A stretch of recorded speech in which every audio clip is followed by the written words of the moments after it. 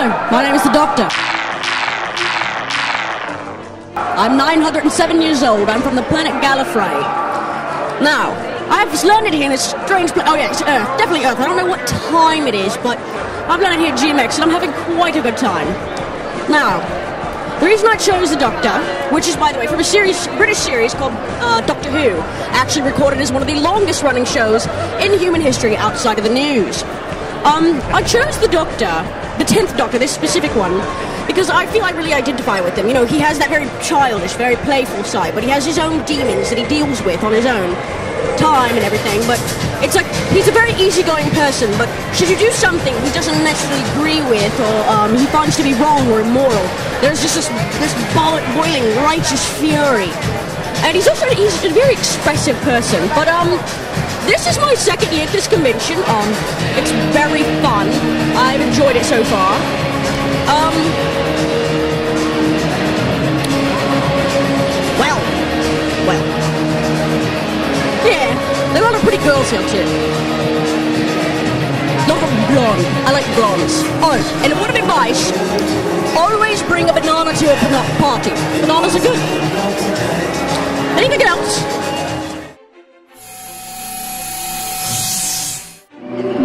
Character is Princess Jasmine.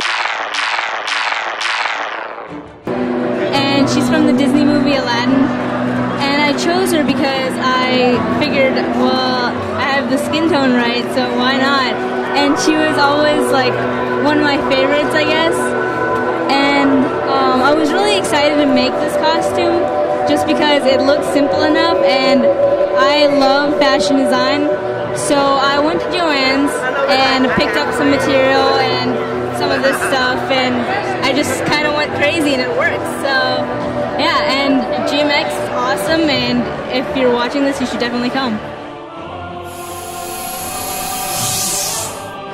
Alright, we are from G.I. Joe. This is Scrap Iron. And I am a flag girl.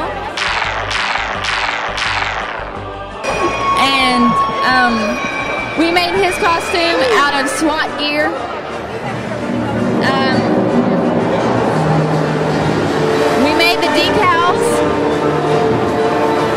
And obviously we have Como- Co- uh, Cobra Commander with Cobra Beer. And I can hand the mic over to Cobra Commander. Yeah, I'm just here to fuck shit up. That's my goal, so. And this is GMX. Yay, GMX.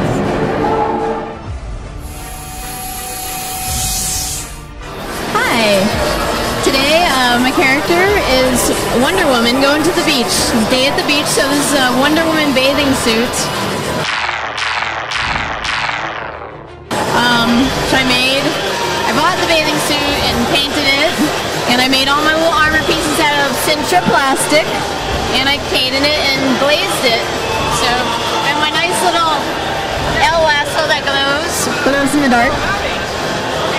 There you go.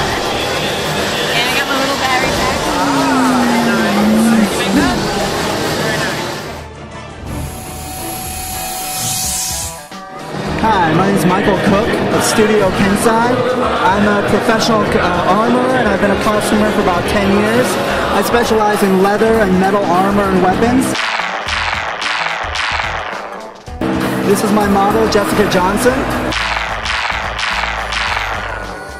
And this is all hardened leather and brass armor. Uh, with hers actually has steel scales and it involves a lot of traditional armor making techniques like boiling leather, shaping, embossing, and this one actually cutting out the leather to show the brass underneath. And it's inspired by a lot of 14th century armor designs and a lot of fantasy designs a la Lord of the Rings, uh, uh, Dragon Age, the video game from BioWare, BioWare, things like that. But these are original designs. And as you can see, they're made with a full range of motion for her leg harnesses and everything. So it's really designed to be worn and be comfortable. Hey, Hey, this is Izzy with Mage TV, and I'm here with another great cosplayer today, Captain America. Will you tell us a little bit about yourself? My name is Chad. My character is Captain America, or Steve Rogers. Um, this particular version is uh, from the Ultimates universe. Um, it's been, it's not one you can just buy, unfortunately. It's one that I've had to um, put together through numerous sources. The shield came from one place. The costume itself, the soft part of it, came from another uh, costume designer. Um, the gloves and the gauntlets I've had to piece together from two different sources. Uh, the boots are like telephone lineman boots. This was the hardest part of the costume to get was the boots. Uh, you just can't find boots that go just below the knee like this. They're, they're real difficult to find. So, And then I got these off of uh, eBay. They're actually Australian World War II Army belt and um, uh, pouches. The, the foam here to make it look like we have chainmail armor was done with fiber foam that was interlapped and sewn and then spray painted. It sounds like you put a lot of thought into making this character. What made you choose Captain America? Well, I, I don't know. I guess uh, who doesn't love Cap? An icon that's been around since the 70s, older than I am, and uh, he's just completely patriotic. It's just a fun character to watch. Uh, I've watched him ever since I was young, so it kind of felt kind of cool to emulate a costume that was, you know, based off of his his character. Thank you for your time. Thank you. Mage TV. Hello, today this is Mage TV, and we have the cosplayer Enya. Enya, tell us, what do you think about GMX Con? It's a fun con. Uh, for its second year in a row, it's come a long way from its first year, and I believe it's going to be a really nice, nice con. Uh, what made it? What made you decide on the character that you're cosplaying today? Uh, this is my own personal character. I'm working on a comic at the moment, and I just wanted to kind of bring her to life and see how, how her reception, if people like the idea of her or not. Could you tell me a little bit about your comic? Uh, the comic takes place in Russia, um, kind of like in a weird cross dimension, kind of like steampunk esque sci fi. Um, it's kind of set in like the 1920s, 1930s, um, kind of around right before World War II starts. And um, I haven't gotten too far on it, so I'm still working on it. Um, could you tell me about how you made your costume?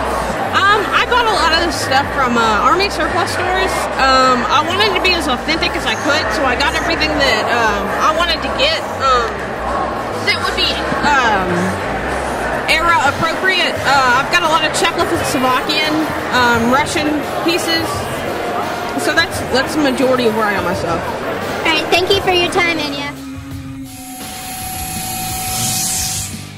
Hey guys, my name's Leonardo Ramirez. I'm here at GMX.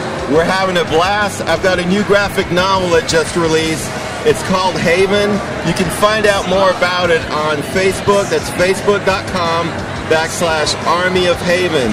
It picks up where Dante's Inferno left off, uh, whereas, it, whereas it chronicles uh, the Dante timeline in the family uh, from that point in time until now and also talks about what the what happened with the nine circles of hell after Dante Alighieri has left the left that realm.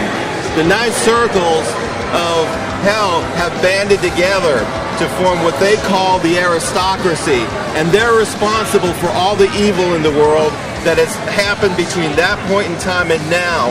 And it's up to Haven Arena Dante in our time period to stop them. So Hope you can pick up a copy. Go to markosia.com. That's M-A-R-K-O-S-I-A.com. You can order it there. And for more information, go to, again, facebook.com, Army of Havens. Thank you so much. And uh, hope you guys are having a great, great weekend. Have a great week and see you soon.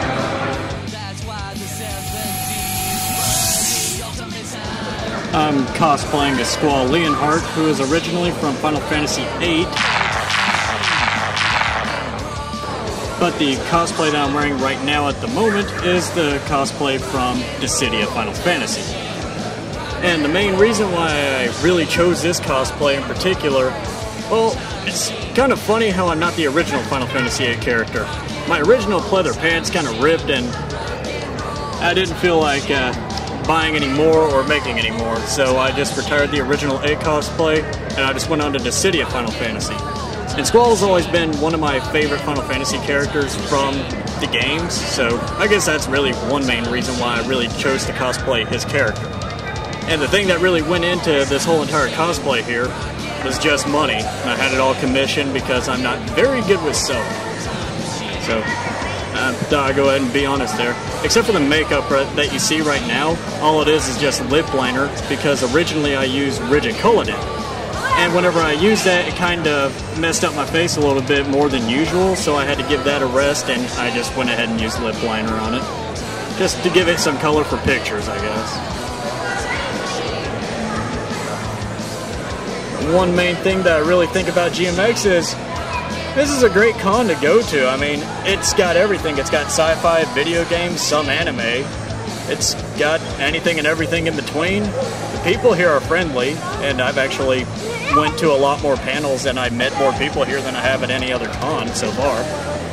So, GMX has Squall's approval.